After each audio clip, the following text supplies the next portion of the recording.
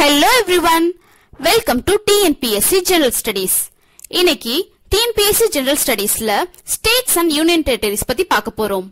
அதுலயும் ஹிமாச்சல் பிரதேஷ் ஹரியானா அப்படிங்கிற two important states பத்தியும் அதோட கொஷின்ஸ் பத்தியும் பார்க்க போறோம். இது வரைக்கும் எக்ஸாம்ல ரெண்டு ஸ்டேட் பத்தி என்னென்ன கொஷின்ஸ்லாம் கேட்டிருக்காங்களோ அதையும் ஆட் ஆன் நாலேஜா பார்க்க போறோம். வாங்க வீடியோக்குள்ள போலாம். இதுவரைக்கும் டிஎன்பிஎஸ்சி ஜெனரல் ஸ்டடீஸ் யூடியூப் சேனலை சப்ஸ்கிரைப் பண்ணாதவங்க சப்ஸ்கிரைப் பண்ணிக்கோங்க. நோட்டிபிகேஷன் பெல் பட்டனை கிளிக் பண்ணிக்கோங்க. லைக் அண்ட் ஷேர் பண்ணுங்க. நீங்க கொடுக்கற ஒவ்வொரு லைக் அண்ட் ஷேர் தான் எங்களோட நெக்ஸ்ட் ஸ்டெப்புக்கு உதவியா இருக்கும். நீங்க கொடுக்கற லைக் தான் எங்க எஃபர்ட் கிடைச்ச ஒரு அங்கீகாரமா நினைக்கிறோம். ஹிமாச்சல் பிரதேஷ அபோர்ட் ஆஃப் ஸ்னோன்னு சொல்லுவாங்க. அதுக்கு மீனிங் பனியின் உறைவிடம் அதாவது அதோட மலைகள் எல்லாமே பனியால சூழப்பட்டிருக்கும். பிக்சர்ல பாக்குறீங்கல்ல அந்த மாதிரி. ஹிமாச்சல் பிரதேஷ்னு பேர் வச்சது யாருன்னா ஆச்சாரிய திவாகர் தத் சர்மா இவர் ஒரு சான்ஸ்கிரிட் ஸ்காலர் ஹிமாச்சல் பிரதேச வந்து ஆப்பிள் ஸ்டேட் அப்படின்னு கூப்பிடுவாங்க. ஏன்னா இங்க ஆப்பிள் கல்டிவேஷனும் நிறைய நடக்கும். இதோட இன்னொரு பேர் தேவ பூமி அப்படின்னு சொல்லுவாங்க. ஹிமாச்சல் பிரதேச நிறைய படங்கள்ல பார்க்கலாம். பனி சொல்ற இடம் எல்லாமே ஹிமாச்சல் பிரதேஷ்ல தான் முக்காவாசி இந்தியால எடுத்திருப்பாங்க. இங்கேதான் ஃபேமஸான குலுமணாலி இருக்கு. ஹிமாச்சல் பிரதேஷோட ஓல்டு நேம் வந்து த்ரிகர்த்தா. த்ரிகர்த்தா அப்படின்னா த்ரீ ஹில்ஸ் அதாவது மூணு ரிவர்ஸ் வந்து இந்த இடத்துல தான் ஃபுல்லா ட்ரெயின் ஆகுது.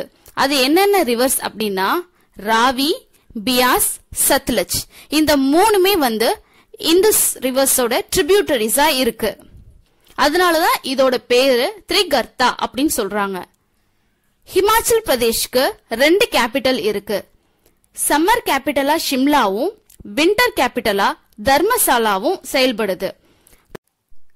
ஏற்கனவே ரெண்டு கேபிட்டல் உள்ள யூனியன் டெரிட்டரி கேட்டகரியில ஜம்மு காஷ்மீரும் லடாக்கையும் பத்தி பார்த்திருக்கோம். அது ரெண்டுத்துக்குமே சம்மர் கேபிட்டல் வின்டர் கேபிட்டல்னு ரெண்டு கேபிட்டல்ஸ் இருக்கு. அதே மாதிரி ஹிமாச்சல் பிரதேஷ்க்கும் ரெண்டு கேபிட்டல் இருக்கு. ஹிமாச்சல் பிரதேஷ்ங்கிறது ஒரு ஸ்டேட் ஜம்மு காஷ்மீர் லடாக் அப்படிங்கிறது ரெண்டு யூனியன் பிரதேசம். ஹிமாச்சல் பிரதேஷ் பதினெட்டாவது ஸ்டேட்டா ஆயிரத்தி தொள்ளாயிரத்தி ஐம்பதாம் ஆண்டு உருவாச்சு. இதுல பன்னெண்டு டிஸ்ட்ரிக்ட்ஸ் இருக்கு. இங்க மேஜரா ஆப்பிள் கல்டிவேஷன் நடக்கிறது.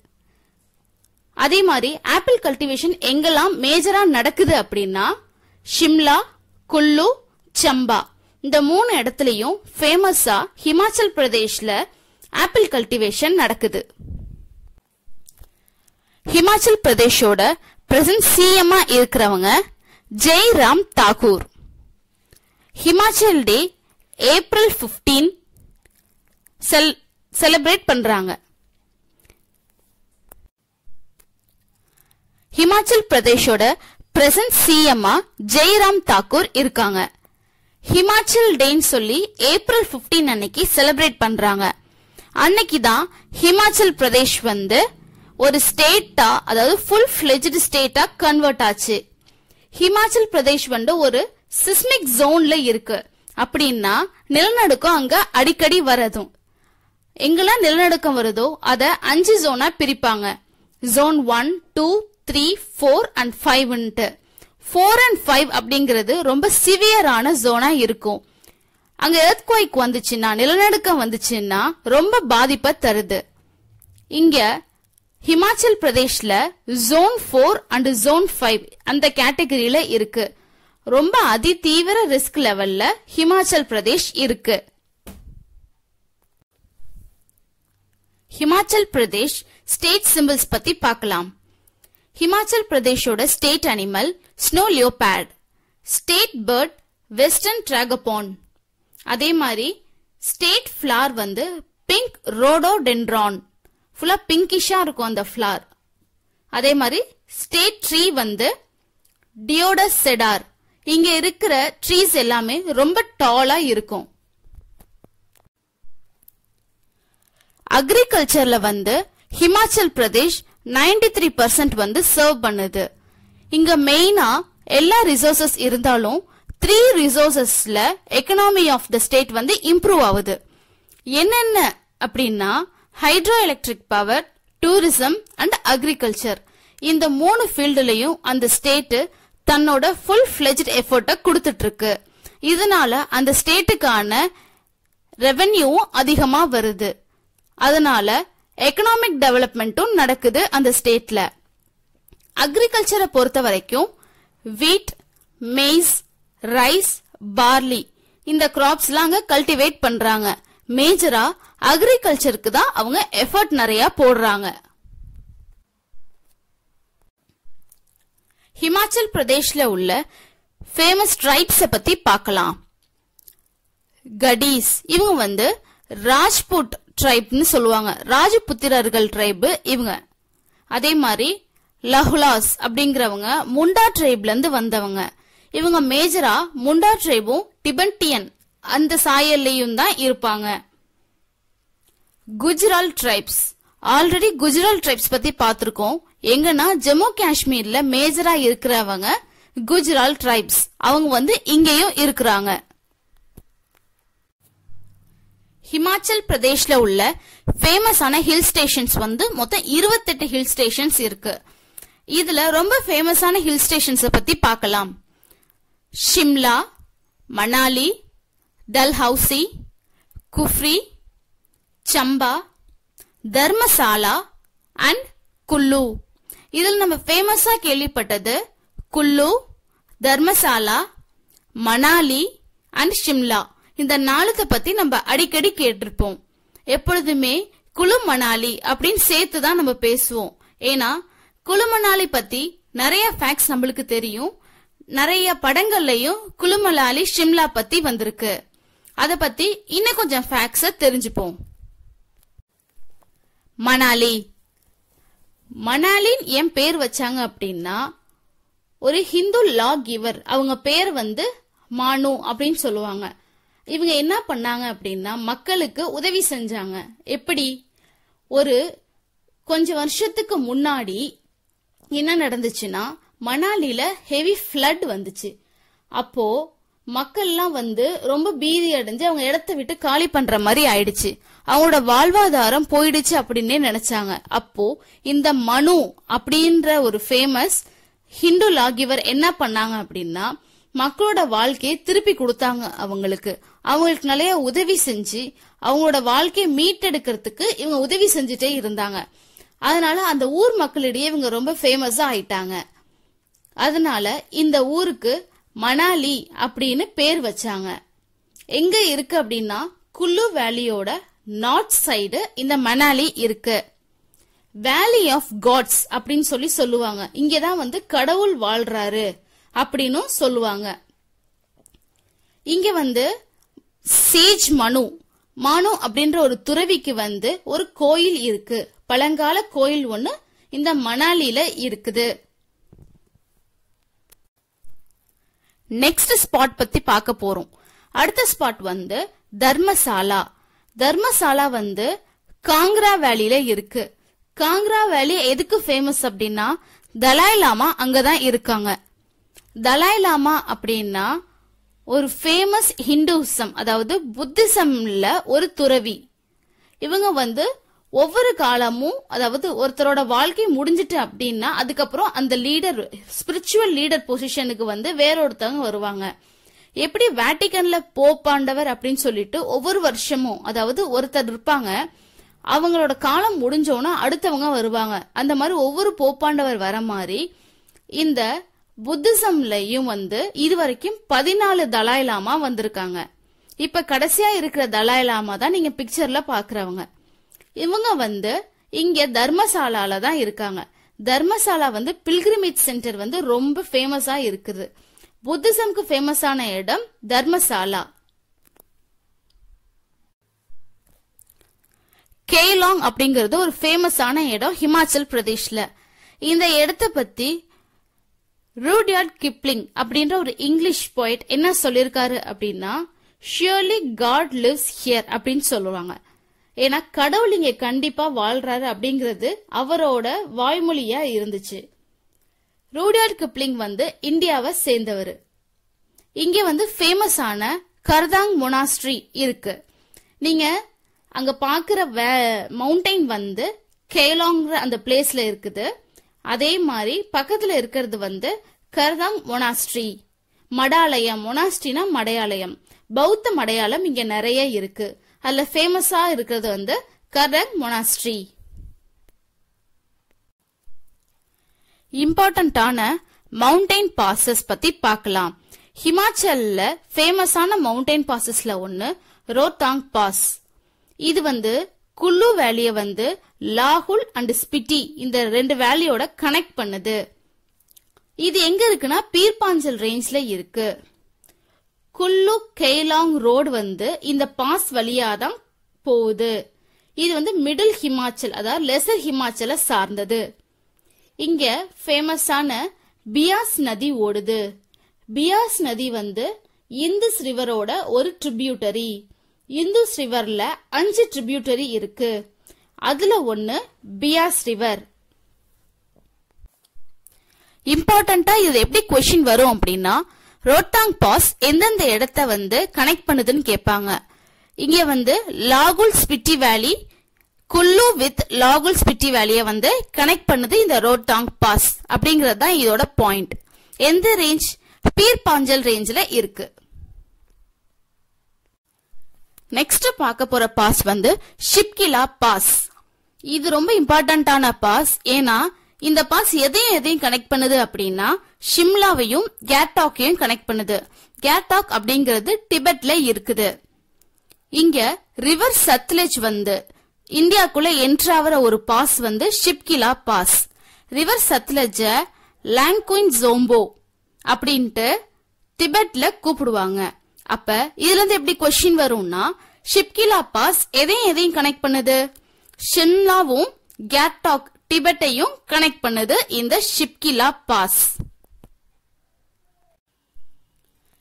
நெக்ஸ்ட் பாஸ் வந்து குன்சம் பாஸ்.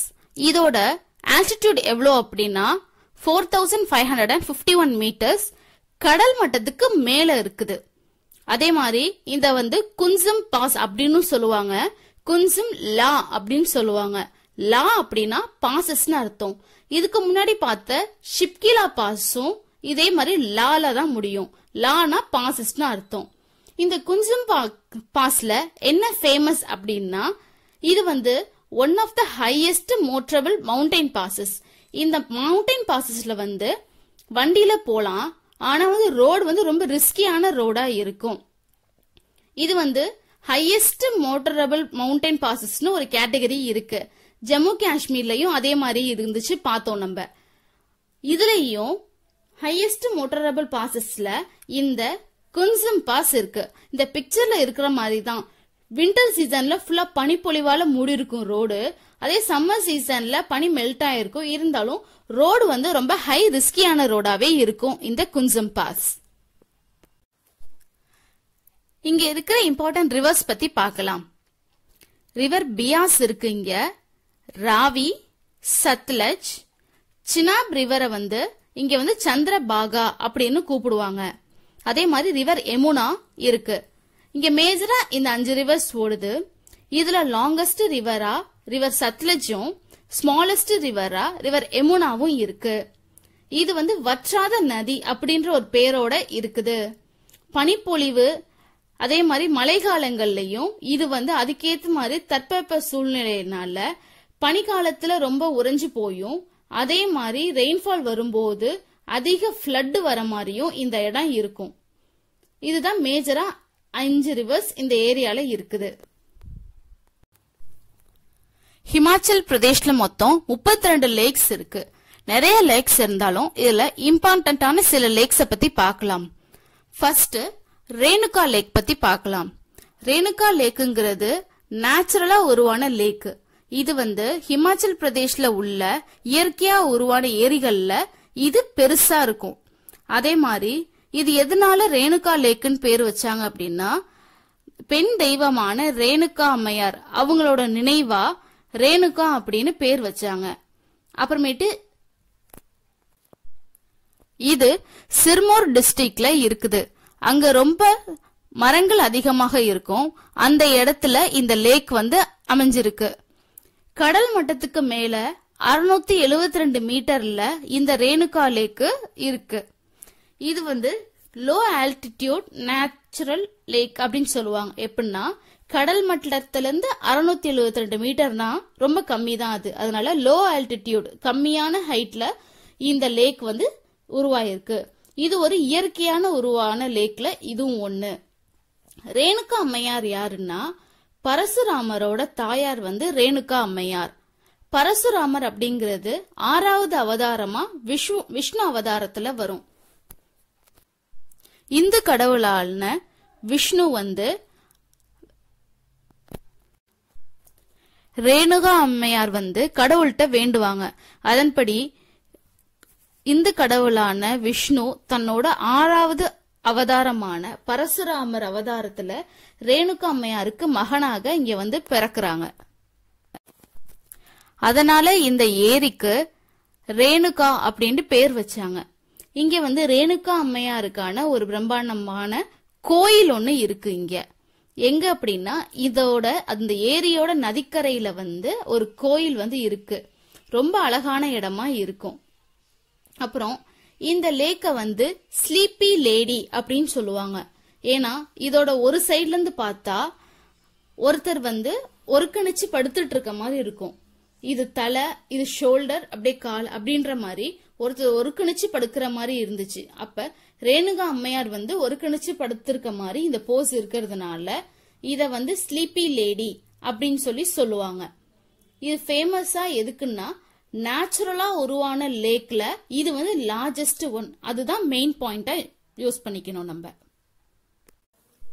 நெக்ஸ்ட் சுராஜ் தால் லேக் இது வந்து ஹையஸ்ட் லேக்கா இருக்குது. ஹிமாச்சல் பிரதேஷ்ல எங்க இருக்குன்னா லாகுல் ஸ்பிட்டி அந்த வேலைக்கு நடுவுல இருக்குது. இது வந்து சூர்யா தால் அப்படின்னு சொல்லுவாங்க. சூர்யா தால்னா வந்து சூரிய கடவுளோட லேக் அதாவது சூரிய கடவுள் இங்க வாழ்றாங்க அப்படின்ற மாதிரி ஒரு நம்பிக்கையோட இருக்குது இந்த லேக் இது வந்து highest lake highest lake in Himachal பிரதேஷ்னு கேட்டா சுராஜ் தால் லேக் அப்படின்னு சொல்லுவோம். அதே மாதிரி லோவஸ்ட் ஆல்டிடியூட்ல இருக்கிற அதாவது கடல் மட்டத்துல இருந்து லோவஸ்ட் ஆல்டிடியூட்ல இருக்கிற லேக் அப்படின்னு பார்த்தா ரேணுகா லேக் இந்த ரெண்டு பாயிண்ட்டும் வந்து குழப்பாம பாத்துக்கோங்க ஹிமாச்சல் பிரதேஷ்ல உள்ள இம்பார்ட்டன்ட் யுனெஸ்கோ சைட்ஸ பத்தி பார்க்கலாம். ஃபர்ஸ்ட் வந்து கல்கா டு ஷிம்லா டாய் ட்ரெயின். இது வந்து ஹரியானால இருந்து ஷிம்லாக்கு போகுது. எப்ப ஸ்டார்ட் ஆனது அப்படின்னா எட்டு ஜூலை ரெண்டாயிரத்தி பதினெட்டுல இருந்து இது வந்து யுனெஸ்கோ ஹெரிடேஜ் சென்டர் அதாவது யுனெஸ்கோவோட மலை ரயில் அப்படின்ற ஒரு கேட்டகரியில இது வந்து இடம் பெற்றிருக்கு. இதை வந்து ஹிமாலயன் குயின் அப்படின்னு சொல்லி சொல்லுவாங்க. ஹிமாலயாவின் ராணி அப்படின்னு சொல்லிட்டு இந்த ட்ரெயினை வந்து மென்ஷன் பண்றாங்க அவங்க. அப்ப கால்கா ஷிம்லா டாய் ட்ரெயின் வந்து எங்கிருந்து எங்கன்னு பாத்துக்கோங்க எப்ப யுனெஸ்கோல இடம் பெற்றுச்சு அதே மாதிரி இதை வந்து ஹிமாலயன் குயின்னு சொல்லிட்டு எந்த ட்ரெயினை சொல்லுவாங்க. இது வந்து கொஸ்டின் கேட்பாங்க இந்த மாதிரி. யுனெஸ்கோல இடம்பெற்ற ஹிமாச்சல் பிரதேஷ்ல உள்ள அடுத்த பிளேஸ் எதுன்னா கிரேட் ஹிமாலயன் நேஷனல் பார்க் இது வந்து ரெண்டாயிரத்தி பதினாறாம் ஆண்டு யுனெஸ்கோல வந்து இடம்பெற்றுச்சு எந்த கேட்டகரியில அப்படின்னா outstanding significance for biodiversity conservation இங்க வந்து நிறைய விலங்குகள் இருக்குது. இது வந்து ப்ரொடெக்டட் ஏரியாவா இன்னைக்கு வரைக்கும் செயல்பட்டு இருக்கு வைல்ட் லைஃப் ப்ரொடெக்ஷன் ஆக்ட் வந்து ஆயிரத்தி தொள்ளாயிரத்தி எழுபத்தி ரெண்டாம் வருஷம் வந்து போட்டாங்க. இதன் அடிப்படையில் அதிகம் பாதுகாக்கப்பட்ட பகுதியா ஹிமாலயன் நேஷனல் பார்க் வந்து செயல்பட்டுட்டு வருது. இது ரெஸ்ட்ரிக்டட் பகுதி அப்படிங்கறதுனால இங்க வந்து ஹண்டிங் வந்து அலோவ் பண்ண மாட்டாங்க. அதே மாதிரி ஃபேமஸான ப்ளூ ஷீப் இங்க இருக்கும். Snow leopard Himalayan brown bear Himalayan tahr தார்னா ஆடு வகையை சேர்ந்தது. மஸ்க் டீர் இதெல்லாம் வந்து இங்க வந்து ஃபேமஸா இருக்கு. பாங் டேம் பாங் டேம் வந்து பியாஸ் டேம்னு சொல்லுவாங்க. ஏன்னா இது வந்து பியாஸ் நதி இதுல இருக்கிறதுனால பியாஸ் டேம்னு சொல்லியும் சொல்லுவாங்க. இது வந்து மகாராணா பிரதாப் சாகர். சாகர்னா டேம் அப்படின்னு சொல்லுவாங்க. இது வந்து வெட்லேண்ட் ஆஃப் நேஷனல் இம்பார்ட்டன்ஸ் அப்படின்ற கேட்டகரியில ராம்சர் சைட்ல வந்து இதுல இருக்கு. ராம்சர் சைட்னா என்னன்னா வெட்லேண்ட் அதாவது ஒரு இடம் ரொம்ப தண்ணியால சூழப்பட்டிருக்கு அப்படின்னா அதை வந்து ராம்சார் கன்வென்ஷன் கீழே கொண்டு வருவாங்க. அப்படி ஹிமாச்சல் பிரதேஷ்ல உள்ள பாங் டேம் வந்து ராம்சார் சைட்ல இருக்குது. மெயினா நீங்க கூகுள் பண்ணீங்கனாலே ராம்சார் சைட்ஸ் இன் இந்தியா அப்படின்னு போட்டீங்கனாவே ஒரு லிஸ்ட் வரும். அதை ஃபுல்லா பார்த்து வச்சுக்கோங்க. அது எந்தெந்த ஸ்டேட்ல என்னென்ன இதுக்கு வந்து ராம்சார் கொடுத்துருக்காங்க. அதே மாதிரி எது இதுக்கு வந்து ஹாட்ஸ்பாட் அந்த பயோடைவர்சிட்டி ஹாட்ஸ்பாட் வந்து எது எதுலலாம் வருது அப்படிங்கறத மெயினா பார்த்து வச்சுக்கோங்க. இது வந்து எப்படியாவது ஒரு கொஷின் ஆகுது வந்துரும். பக்ரா டேம் இது வந்து கான்கிரீட் கிராவிட்டி டேம் இது வந்து சத்லஜ் ரிவர்ல இருக்குது. எங்கன்னா பிலாஸ்பூர் டிஸ்ட்ரிக்ட் ஹிமாச்சல் பிரதேஷ்ல இருக்கு. இது வந்து கோவிந்த் சாகர் ரிசர்வாயர் அப்படின்றதோட சாயலா இருக்கு. இதோட தண்ணி எல்லாமே கோவிந்த சாகர்ல வந்து ரிசர்வாயர் சேவ் பண்ணி வைக்கிற இடமா இருக்கு. இது செகண்ட் ஹையஸ்ட் டேமா இருக்குது. இப்ப இருக்கிற டேம்ல ஹையஸ்ட் டேம்ல வந்து செகண்ட் பிளேஸ்ல இருக்குது இது. நெக்ஸ்ட் நங்கல் டேம் அப்படின்னா பஞ்சாப்ல இருக்குது. இது வந்து எப்படின்னா பக்ரா வந்து ஹிமாச்சல் பிரதேஷ்ல இருக்கும். நங்கல் வந்து பஞ்சாப்ல இருக்கும். இது ரெண்டும் வந்து சேர்ந்து பக்ரா நங்கல் டேம் அப்படின்னு சொல்லி சொல்லுவாங்க. ஆனா இது ரெண்டும் இருக்கிறது வந்து பக்கத்து பக்கத்து ஸ்டேட் வேற வேற ஸ்டேட்ல இருக்கிறதுனால பக்ரா நங்கல் டேம்னு சேர்த்து சொல்லுவாங்க. பக்ரா நங்கல் அப்படிங்கிறது third largest reservoir in India லெவல்ல இத வந்து new temple of resurgent India அதாவது வளர்ந்து வர இந்தியாவின் ஒரு புது கோயில் அப்படின்ற மாதிரி பிரதமர் ஜவஹர்லால் நேரு வந்து சொல்லியிருப்பாங்க. இதுக்கு அடிக்கல் நாட்டினவர் வந்து ஜவஹர்லால் நேரு தான் அடிக்கல் நாட்டியிருப்பாங்க. இந்தியாவோட வளர்ச்சிக்கு இது ஒரு புது அத்தியாயம் அப்படின்ற மாதிரி அவங்க சொல்லியிருப்பாங்க இது. இது எப்ப அடிக்கல் நாட்டினாங்கன்னா நவம்பர் பதினேழு ஆயிரத்தி தொள்ளாயிரத்தி ஐம்பத்தி அஞ்சுல இருந்து இந்த பக்ரானங்கல் டேம் வந்து செயல்பட்டுட்டு வருது. பக்ரானங்கல் வந்து Gobind Sagar reservoir. Reservoir list எல்லாம் பாத்துட்டு இருக்கோம் இப்ப. பக்ரா நகர்ல வந்து கோவிந்த் சாகர் ரிசர்வாயர் பாங்ல வந்து ரிவர் பயாஸ் இருக்கு பாண்டோல வந்து ரிவர் பியாஸ் எங்கன்னா குல்லு வேலியில இருக்கு. சமேரா ரிவர் வந்து சமேரால வந்து ரிவர் ராவி இருக்கு எங்கன்னா சம்பால இருக்கு. இது மேஜரா நாலு ரிசர்வாயர் வந்து ஹிமாச்சல் பிரதேஷ்ல இருக்கு பாத்துக்கோங்க. இங்க மெயினா நடக்கிற இரிகேஷன் ப்ராஜெக்ட் பத்தி பார்க்கலாம் மண்டி ப்ராஜெக்ட் வந்து பியாஸ் ரவில வந்து நடக்குது. இது வந்து மேஜரா அக்ரிகல்ச்சர் இரிகேஷனுக்காக இந்த ப்ராஜெக்ட் வந்து நடக்குது. எங்கன்னா ஹைட்ரோ எலக்ட்ரிக் ப்ராஜெக்ட் நடந்துட்டு இருக்கு இங்க. இது வந்து சோட்டி காஷி அப்படின்னு சொல்லுவாங்க. ஏன்னா வாரணாசிய வந்து இதை வந்து பிரதிபலிக்குது. வாரணாசி மாதிரியே இருக்குது இது அப்படிங்கறதுனால சோட்டி காஷி அப்படின்னு சொல்லி இந்த மண்டி இருக்கிற இடத்த வந்து சொல்லுவாங்க. நெக்ஸ்ட் வந்து இது இதுல வந்து என்ன ரிவர் அப்படின்னா பியாஸ் ரிவர் இருக்கு. இது வந்து temple of lord Shiva near the ghats அதாவது மலைகளுக்கு பக்கத்துல வந்து சிவனோட கோயில் வந்து இருக்குது. இந்த மண்டி ப்ராஜெக்ட் வந்து மெயினா ஹைட்ரோ எலக்ட்ரிக் ப்ராஜெக்ட் நடக்குது. சோட்டி காஷ்னு சொல்லுவாங்க. இதான் மெயினா பாத்துக்கோங்க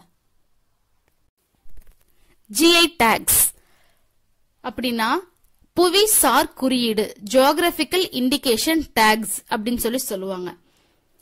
அப்படி என்னென்ன ஜிஐ டேக் வந்து இங்க ஹிமாச்சல் பிரதேஷ்ல கொடுத்திருக்காங்க அப்படின்னா ஹிமாச்சல் காலா ஜீரா காலானா கருப்பு கருப்பு ஜீரா அப்படிங்கிறதுக்கு வந்து ஜிஐ டேக் கொடுத்திருக்காங்க. அதே மாதிரி சம்பா ரூமல் அப்படிங்கிறது கையாலேயே செய்யற எம்ப்ராய்டரி மாதிரி அது. ஃபுல்லா அந்த நெய்யறது கையால இருக்கும். ஃபுல்லா உருவங்கள் அதை வச்சு பண்ணுவாங்க. சம்பா ரூமல். அதே மாதிரி basmati rice Himalayan basmati rice.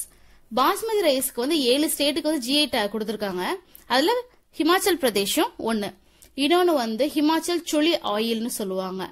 இது வந்து ஃபேமஸா வந்து ஹிமாச்சல் பிரதேஷ்ல வந்து ஜிஐ டாக் இந்த ஆயிலுக்கு கொடுத்துருக்காங்க.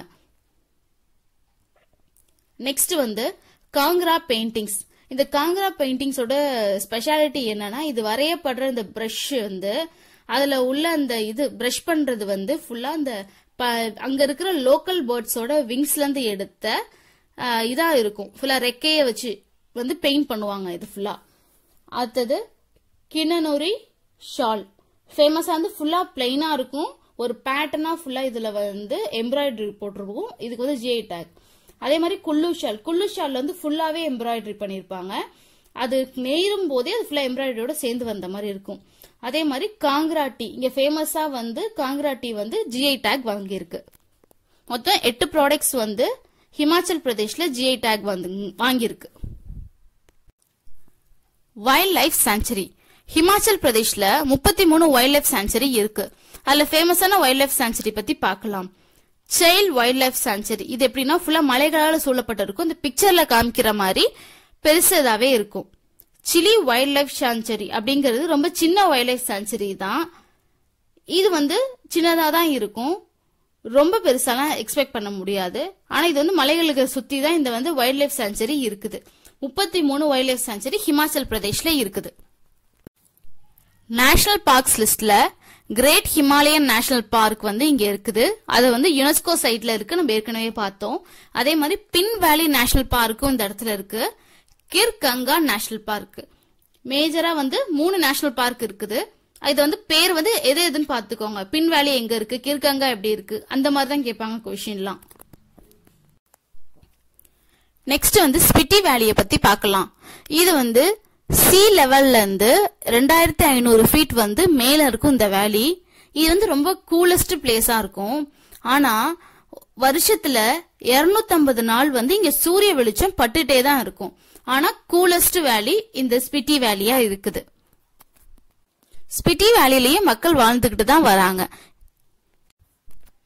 ரியோ பர்கில் பீக் இந்த பீக்கோட மீட்டர் வந்து six thousand eight hundred and sixteen metre இது வந்து ஒரு டோம் ஸ்ட்ரக்சர்ல இருக்கும்.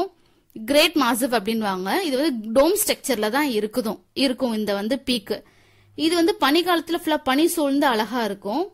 அதே சூரிய வெளிச்சம் படும்போது இது வந்து ஃபுல்லா கோல்டன் கலர்ல இருக்கும் இந்த பீக்கு சூரிய வெளிச்சம் வந்து சன்செட் சூரிய வெளிச்சம் வந்து எப்படின்னா சூரியன் மறையும் போது இருக்க சூரிய வெளிச்சம் இதுல படும்போது ஃபுல்லா கோல்டன் கலர்ல இருக்கும். சத்லஜ் ரிவருக்கு மேல இந்த மலை வந்து பீக் வந்து எழும்பி இருக்கும் இது வந்து டிபெட்டை வந்து ஓவர்லாக் பண்ண மாதிரி அதாவது டிபெட்டுக்கு ஒரு பார்டர் கொடுத்த மாதிரி வந்து இந்த கியோ ரியோபகில் பீக் வந்து இருக்குது. இங்க என்னென்ன ஃபெஸ்டிவல் ஃபேமஸா நடக்குது அப்படின்னா லோசார் ஃபெஸ்டிவல் தர்மசாலால நடக்கும் ஃபேமஸா இந்த ஃபெஸ்டிவல் இதோட சேர்ந்து இன்னொரு ஃபெஸ்டிவல் ரொம்ப ஃபேமஸ் அப்படின்னா குல்லு தசரா அப்படிங்கிறது. இந்த ஃபெஸ்டிவல் எதுக்காக கொண்டாடுறாங்கன்னா கெட்டதை நல்லது அழிச்சது. அதுக்காக இந்த ஃபங்க்ஷன் வந்து கொண்டாடுறாங்க. ஒரு வாரத்துக்கு கொண்டுவாங்க கொண்டாடுவாங்க. இம்பார்ட்டண்டா இங்க வந்து நிறைய ஃபேர்லாம் நடக்கும். ஃபேர்னா வந்து எக்ஸிபிஷன் அந்த மாதிரி நிறைய வந்து இந்த ஃபெஸ்டிவல்ல நடக்கும். குல்லு தசரா வந்து ஃபுல்லா மக்கள்லாம் கூடி ரொம்ப பிரசித்திப்படுத்தி இதை வந்து ஒரு வாரம் வாரம் வந்து கொண்டாடுவாங்க இந்த குல்லு தசராவை. இங்க இருக்க ஃபேமஸான டான்சஸ்ல ஒன்று நட்டி டான்ஸ் அப்படிங்கிறது கின்னஸ் வேர்ல்ட் ரெக்கார்ட்ல இந்த டான்ஸ் வந்து இடம் பெற்றிருக்கு ஏன்னா லார்ஜஸ்ட் ஃபோக் டான்ஸ் அப்படிங்கிற கேட்டகரியில நடி டான்ஸ் வந்து இடம் பெற்றிருக்கு ஹிமாச்சல் பிரதேஷ் அப்படின்னாலே நட்டி அப்படிங்கிறது ஒரு ஃபேமஸ் ஃபோக் டான்ஸா இருக்குது. நெக்ஸ்ட் வந்து டங்கி டான்ஸ் அப்படின்னு சொல்லுவாங்க. இது வந்து ஹிமாச்சல் பிரதேஷ்ல உள்ள ஃபோக் டான்ஸ் தான். இங்க ஃபுல்லா நிறைய பியூட்டிஃபுல் சீனரிஸா இருக்கும். இந்த நடக்கிற இடம். இது வந்து மெயினா வந்து காம்படிஷன்ஸ்லாம் இந்த டங்கி டான்ஸ் வந்து யூஸ் பண்ணுவாங்க. சம்பா ஏரியால வந்து இந்த ஸ்- இந்த டான்ஸ் வந்து சம்பா ஏரியாவோட அசோசியேட் ஆன டான்ஸ் அங்க இருக்க மக்கள் வந்து ஃப்ரீக்வெண்டா அந்த டான்ஸ் வந்து ஆடுவாங்க. இது வரைக்கும் ஹிமாச்சல் பிரதேஷோட இம்பார்ட்டன்ட் பாயிண்ட்ஸ் பார்த்தோம். UNESCO sites national parks dams rivers அதெல்லாம் பத்தி பார்த்தோம். ஜிஐ டேக்ல எட்டு பொருள் வாங்கிருந்துச்சு. அது எது எது என்னென்ன அப்படிங்கறதையும் பார்த்தோம். இப்ப ஹரியானாவோட இம்பார்ட்டன்ட் பாயிண்ட்ஸ் பத்தி பார்க்கலாம்.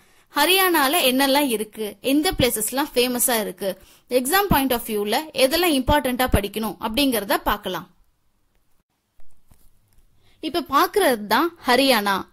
ஹரியானால மொத்தம் 22 ரெண்டு டிஸ்ட்ரிக்ட்ஸ் இருக்குது. ஹரியானா முன்னாடி பஞ்சாபோட சேர்ந்து இருந்துச்சு. அப்புறமேட்டு பதினேழாவது ஸ்டேட்டா ஹரியானாவை பிரிச்சாங்க. அத பத்தி பார்க்கலாம் ஹரியானாவோட கேபிட்டல் வந்து சண்டிகர். சீஃப் மினிஸ்டர் வந்து மனோகர் லால். எப்ப ஹரியானா ஃபார்ம் ஆச்சுன்னா நவம்பர் ஒன் நைன்டீன் சிக்ஸ்டி சிக்ஸ்ல ஃபார்ம் ஆச்சு. எத்தனாவது ஸ்டேட்னா பதினேழாவது ஸ்டேட்டா ஃபார்ம் ஆச்சு. இங்க வந்து ஹரியானா எதுக்கு ஃபேமஸ் அப்படின்னா இந்த ஸ்டேட்ல ஃபுல் எல்லா இடமுமே ஃபுல்லா எலக்ட்ரிபிகேஷன் ஆயிடுச்சு first state in India to receive full rural electrification எங்க பார்த்தாலும் கரண்ட் கொடுத்துட்டாங்க இந்த ஊர்ல. எப்பனா நைன்டீன் செவன்டிலேயே அந்த பெருமையை பெற்றுடுச்சு. இங்க வந்து பாஸ்மதி ரைஸ் வந்து நிறைய எக்ஸ்போர்ட் பண்றாங்க. இங்க மொத்தம் இருபத்தி ரெண்டு டிஸ்ட்ரிக்ட்ஸ் இருக்கு. ஹரியானாவோட சிம்பிள்ஸ் பத்தி பார்க்கலாம். பிளாக் பக் அப்படின்னு சொல்லுவாங்க. பிளாக் பக்ன்றது ஒரு மான் வகையை சேர்ந்தது தான் பிளாக் பக் இது வந்து ஸ்டேட் அனிமலா இருக்கு. அதே மாதிரி பிராங்க் பிராங்கோலின் அப்படிங்கிறது ஒரு பேர்டு இது வந்து ஸ்டேட் பேர்டா இருக்கு. அதே மாதிரி லோட்டஸ் வந்து ஸ்டேட் பிளாரா ஹரியானாவுக்கு இருக்கு. ஸ்டேட் ட்ரீயா இருக்கிறது வந்து பீப்பிள் ட்ரீ பீப்பிள் ட்ரீ அப்படின்னா அரச மரம். பிள்ளையார் உட்கார்ந்துருப்பார்ல அரச மரம். அதுதான் வந்து இந்த ஸ்டேட்டோட ஸ்டேட் ட்ரீயா இருக்குது. ஃபேமஸான ரஃபேல் ஏர்கிராப்ட்ஸ் வந்து இங்க இருக்கிற அம்பாலா ஏர்வேஸ்ல தான் வந்து தர இறங்குச்சு. ஃபர்ஸ்ட் வந்து அஞ்சு ரஃபேல் ஃபைட்டர் வந்து பிரான்ஸ்ல இருந்து இந்தியன் ஆர்மி அதாவது இந்தியன் ஏர்ஃபோர்ஸுக்கு வந்து ஒப்படைக்கப்பட்டது. எங்கன்னா அம்பாலா ஹரியானால. இதை வந்து யாரு ப்ரொடியூஸ் பண்ணா அப்படின்னா பிரெஞ்சு கம்பெனியான டசால்ட் ஏவியேஷன் அப்படின்ற ஒரு கம்பெனி தான் இந்த ரஃபேல் போர் விமானங்களை வந்து தயார் செஞ்சு நம்மளுக்கு கொடுத்தாங்க. இதை யாரு வரவேற்றா அப்படின்னா ராஜ்நாத் சிங் டிஃபென்ஸ் மினிஸ்டர் ராஜ்நாத் சிங் தான் வந்து இந்த ரஃபேல் வினா- விமானங்களை அம்பாலா தளத்துல வந்து வரவேற்றாங்க. மொத்தம் முப்பத்தி ஆறு ரஃபேல் விமானங்களை இந்தியா பிரான்ஸ் கிட்ட ஆர்டர் பண்ணிருக்கு. அதுவும் ஏழு புள்ளி எட்டு பில்லியன் யூரோஸ் அப்படின்ற அமௌண்ட்டுக்கு வந்து பே பண்ணிருக்காங்க. அதுவும் இல்லாம இது வந்து biggest ever monetary terms in India அதாவது அதிகமான விலை கொடுத்து வாங்கின ஏர்கிராஃப்ட்ல அதாவது இந்தியால இருந்து எ- எந்த விமானம் வாங்குறோமோ அந்த விமானத்துக்கு அதிகமா விலை கொடுத்து வாங்கணும் அப்படின்னா இந்த ரஃபேல் போர் விமானங்கள் தான் அதுல முதலிடம் பிடிச்சிருக்கு.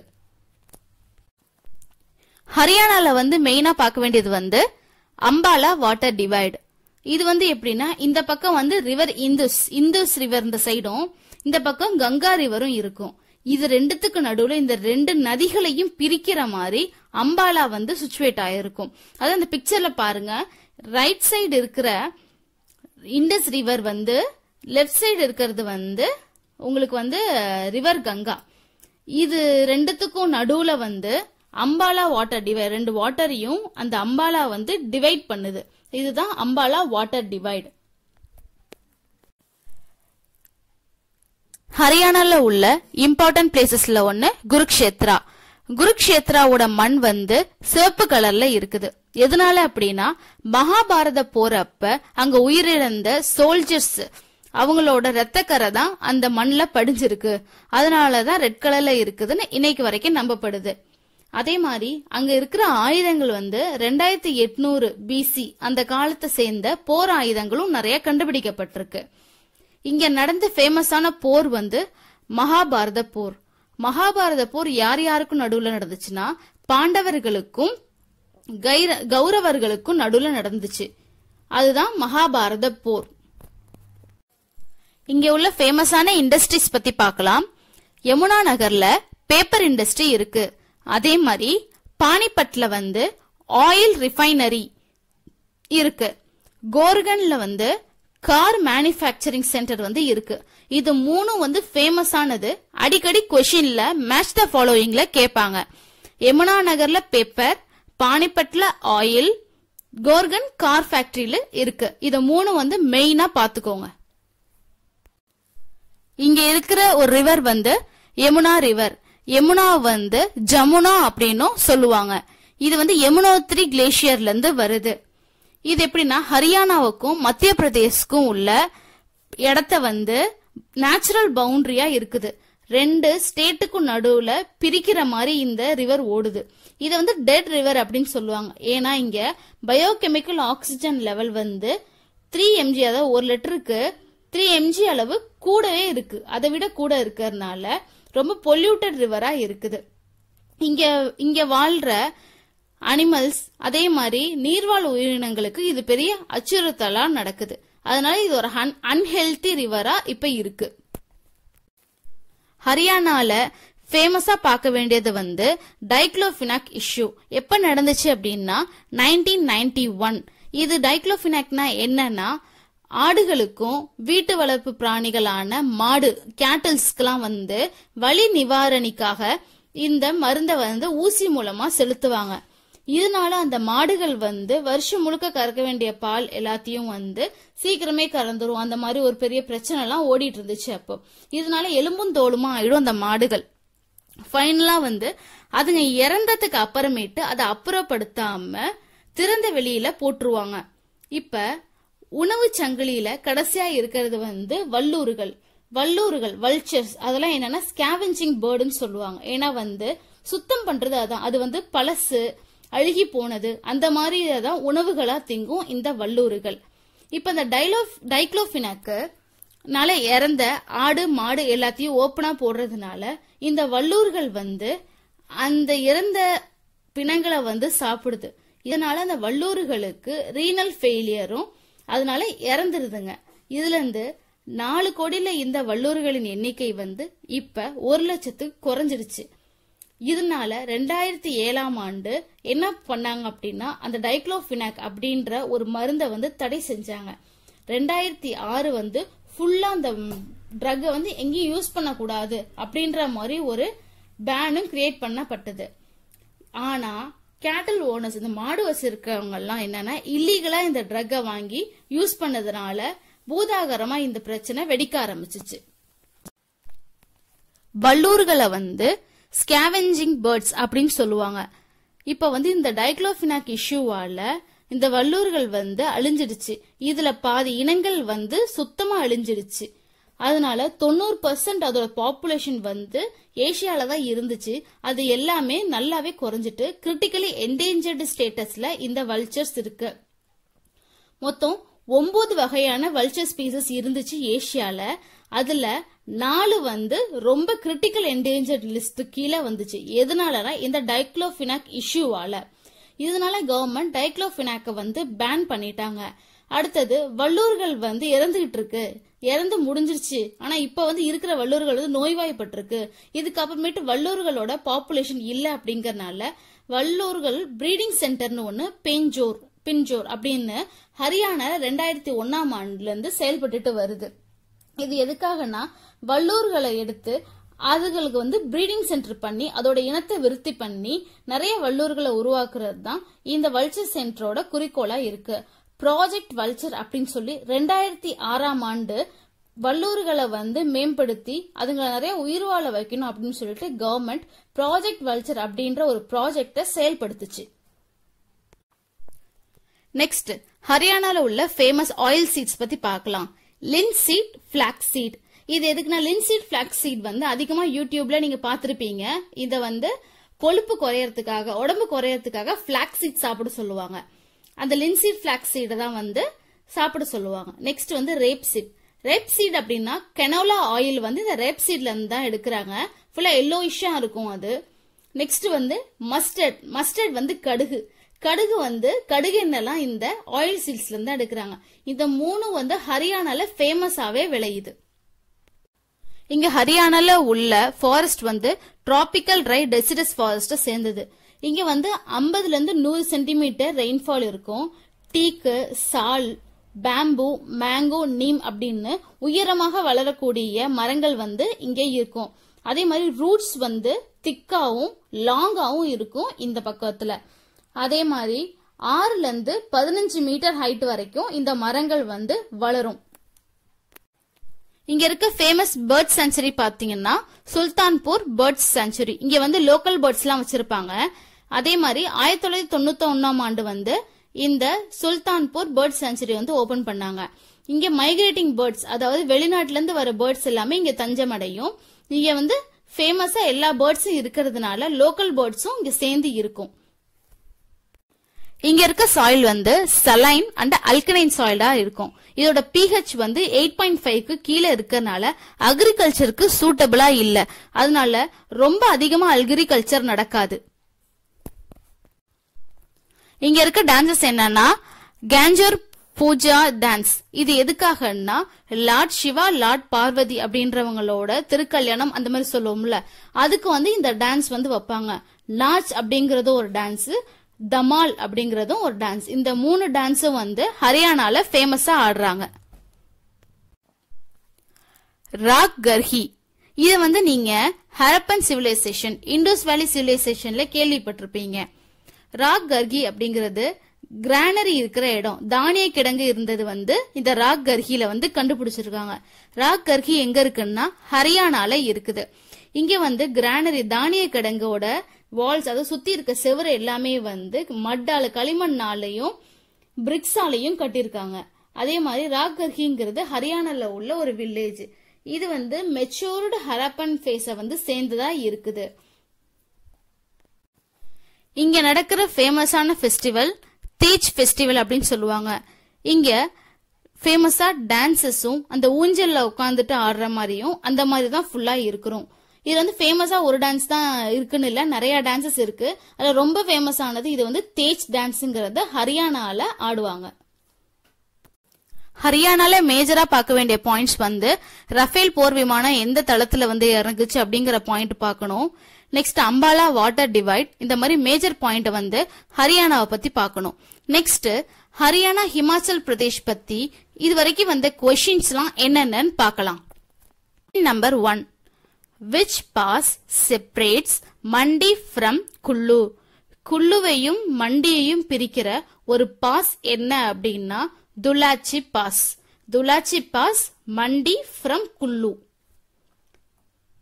next question in which district is lake Suraj Tal located Suraj தாளுங்கிறது எந்த லொக்கே எந்த லொக்கேஷன்ல இருக்கு? அதாவது சுராஜ் தால் லேக் அப்படிங்கிறது எங்க இருக்கு அப்படின்னா லாகுல் ஸ்பிட்டி அந்த இடத்துல வந்து சுராஜ் தால் லேக் வந்து இருக்கு.